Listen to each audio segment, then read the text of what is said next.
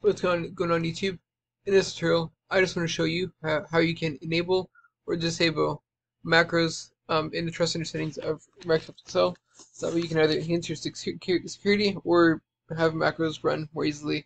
So to do this, you go to the File tab. At the very bottom, you're going to see a, place where you can click on Options.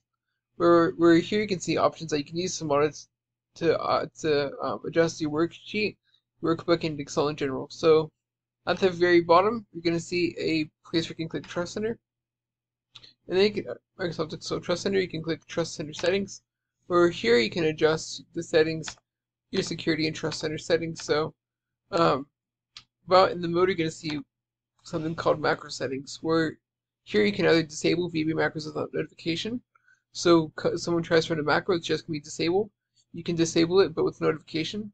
So if you so whenever something got uh, you open a sheet, let's say you open a sheet and uh, you have macro that otherwise would automatically run, it's going to give a message to say, hey, macros are disabled. You can enable macros except digitally signed macros, or you can enable all macros. And this is where you can also enable Excel 4.0 macros. Your VB macros are enabled. And you can also choose access to VB project object models too. Um, you can adjust your settings, click OK.